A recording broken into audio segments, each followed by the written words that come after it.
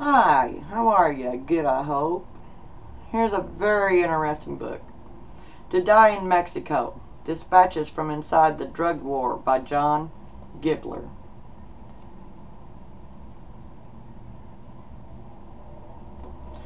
Yes, there's a lot of info in here, and uh, it ties in with our foreign policies.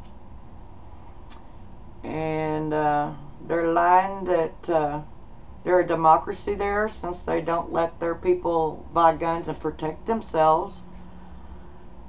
And I think that's why they don't speak, a lot of them don't speak English here, so they don't have to explain what they know is really going on. And in Mexico, there's a lot of uh, honest journalists dying to keep their mouth shut by those people that are creating this so-called conspiracy is real. Okay, just a few things from here. Um,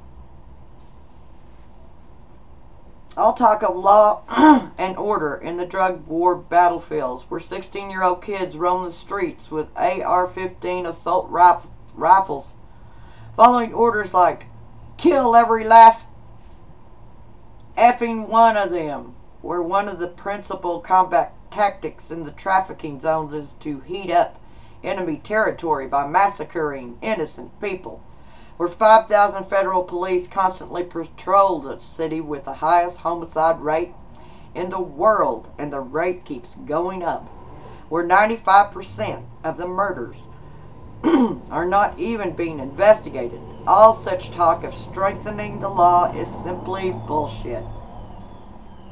Calderon sent the army into the streets to protect him, seeking to grasp through the exercise of violence the social legitimacy he never achieved through the ballot box. The Army, meanwhile, does what it has always done with drug traffickers sell the plaza to one group and eliminate that group's rivals. That's how they look at competition in Mexico.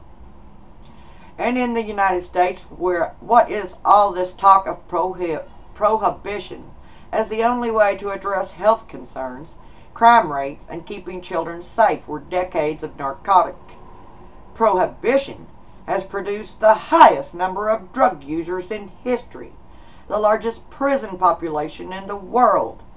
Disproportionately people of color and police forces that subsidize themselves from assets seized during drug busts. In these battlefields, all discourse about prohibition as a public safety policy is self-serving, fundamentalist lies tantamount to complicity in the intellectual authorship of perpetual mass murder. And that goes with genocide too. Pretty much equals it. Let us be clear. Absolute prohibition is legislated death. So what do we know? After decades of a multinational drug war imposed by the United States government, illegal plants, Fungi and chemicals are more plentiful and more people consume them than ever before. Profits generated by this illegal market pulse through the legal capitalist economy and keep it afloat when speculative markets crash. I told y'all, they're gamblers, rich gamblers up there on Wall Street. the United States has the largest prison population in the world in Mexico, the gateway to the United States drug market is being bludgeoned with murder. U.S. policy has not stopped the flow of drugs, but it has outsourced most of the killing. Judging by the drug war's own proclaimed objective, there is no better case study in failure. But it is not a failure, of course. Illegality increases the value of the commodity, and illegality allows for massive funding of police and military repression, and mechanisms of social control. Oh, the military is not to be trusted at all. They're not looking out for us.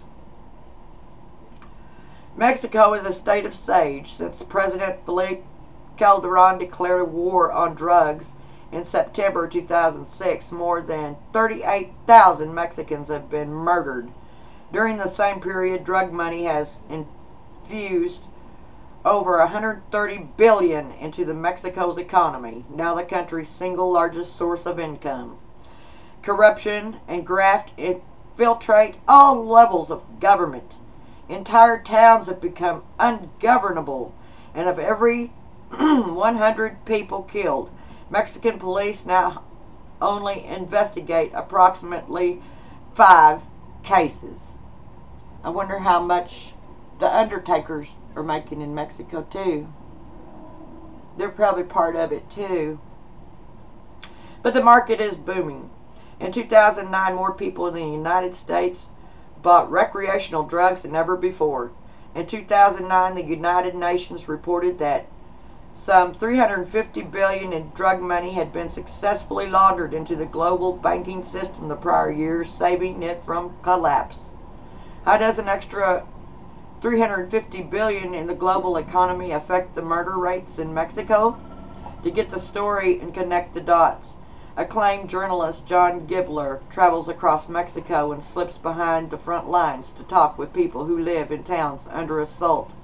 Newspaper reporters and crime beat photographers, funeral, funeral par parlor workers, convicted drug traffickers, government officials, cab drivers, and others who find themselves living on the lawless frontiers of the drug war.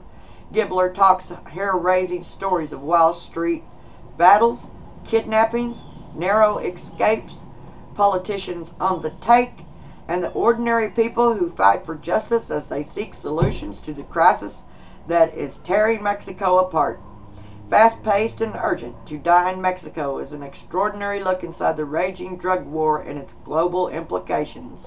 And it will also show what our people are up to that support the illegality people and drugs that's coming in, like the Catholic Church and the Baptist Convention churches. That is not the same as the rest of the Baptists. So there's more investigations and things going on and uh, people who support that money coming in for me illegally doing things, I bet they're guilty of a bunch more. Needs investigation. Day or night, wherever you are, have a nice one.